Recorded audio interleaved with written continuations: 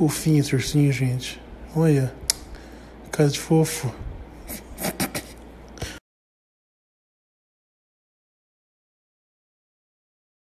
Eu quero que vocês contemplem aqui, enquanto eu tô editando o vídeo Por... com Portuga, né? Quero que vocês contemplem o tombo de Portuga.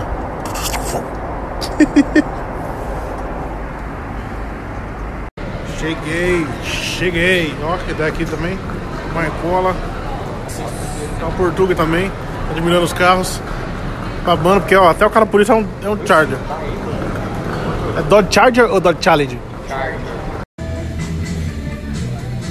Pode sim,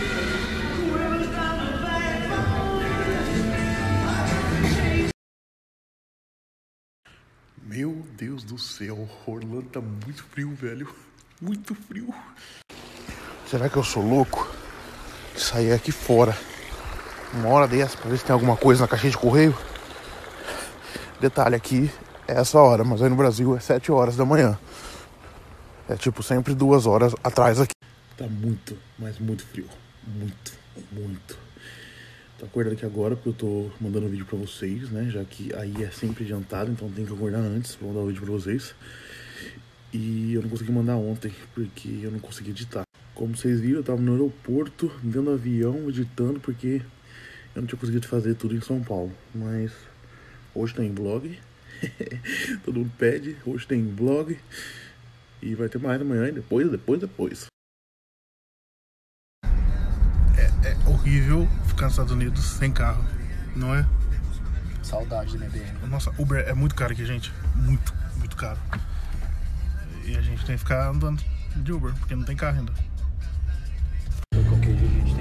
Uma passada no Camilas, né? Arroz e feijão. Eu queria ir, mas tá muito longe sem carro. É tipo meia hora. Isso vai dar já percebi, tem que economizar aqui, gente. Vou comprar um carrinho, nem que for tipo aqueles lá de 500 dólares só pra ficar andando mesmo, porque não dá não, sério. Não dá. Mas a gente teve que vir agora, tava faltando coisa. Teve que vir agora porque tava faltando coisa lá em casa, então a gente veio, comprou um monte de coisa, tá indo lá guardar. Rapidão, vamos gastar muito. Tudo mercado perto. é assim a vida aqui de quem mora nos Estados Unidos. Agora são os moradores, definitivamente. Mano, meu Instagram voltou. Eu o dia todo sem conseguir usar. Tava tipo fechando do nada o aplicativo, não sei porquê. Mas agora estou de volta. Tô comendo. Vou comer hoje aqui num lugar que é café americano. Eu não sei nem o nome. I hope. I hope. I hope. I hope. I hope, I hope é bom. É o quê? I hope? I hope. Tô aprendendo, gente. Pedro veio visitar a gente. Ele é. tá rindo porque, tipo, eu falei sem querer e combinou. Combinou. I hope. I hope. I hope, que significa? Eu espero que seja isso mesmo. Ah, entendi. Aí, tipo, eu falei, eu vou comer no restaurante americano. Ah, eu espero. Pedro, ele é aquele exemplo de filho, entendeu? Ele vai passar o Natal num cruzeiro com o pai e com a mãe dele. E com o resto da família. Sim. A mãe dele deve estar tá muito feliz, porque, tipo, eu não faria nunca isso com a minha mãe. é, porque, é porque, tipo assim, depois de 25 anos eu fazer um cruzeiro com a minha mãe é tristeza. Minha mãe ia ficar na piscina fazendo aqueles negócios de. Como que chama? ginástica aquática. Ginástica aquática, meu pai ia ficar jogando bingo e não ia dar certo. Eu vou ficar jogando poker no cassino, então tá de boa. Chegou. É assim que um americano verdadeiro toma café da manhã.